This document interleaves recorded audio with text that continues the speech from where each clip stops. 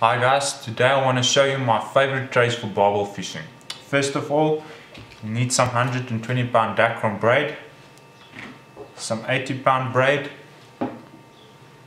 some proper hooks. You can either use a circle hook or J hook for this trace. I prefer using circle hooks because they give me a much better hook operation. It is very important to choose the right hooks when fishing for barbel.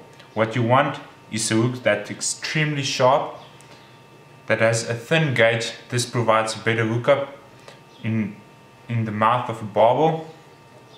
But you also want a hook that's strong, that won't bend open during the fight. You also need a number 4 power swivel and a 1 ounce sinker. What you do first is you cut a 30 centimeter piece of Dacron fold it double like this and tie it around your hook shank.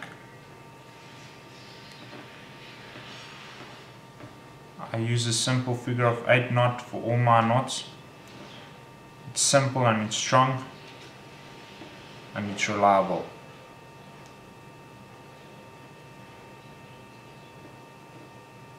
Just pull it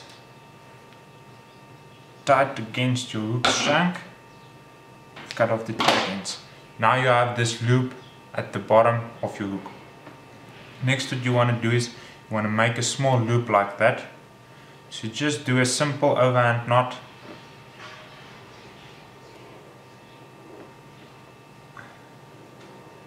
And pull it tight as close as possible. You want this loop at the end to be as small as possible.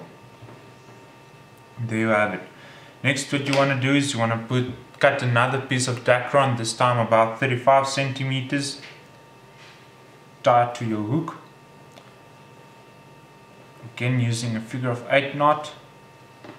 I prefer using braid, you can use mono as well, but the braid just gives your bait a lot more movement in the water and it's not as stiff as mono would be. On the other end you just tie your small power swivel.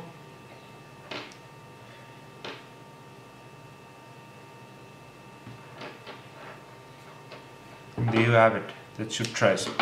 Next you take a piece of the 80 pound braid again about 20 centimeters. Take your one ounce sinker and thread it through. Again I make a figure of 8 knot just tying the sinker to the braid pull it tight cut the tag on off now what you do is you slip this knot back a bit it's like that and make another figure of 8 knot on your hook shank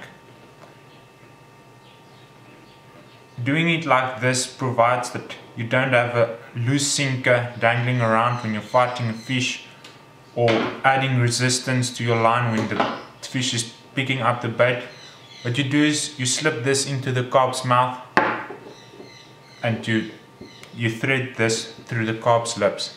This will seal the sinker inside, it will add a bit of bit of weight to your bait but it won't complicate anything or get in the way when you're fighting a fish. And this is a simple trace for barbel fishing. In the next video I will show you exactly how to hook your bait. Thank you.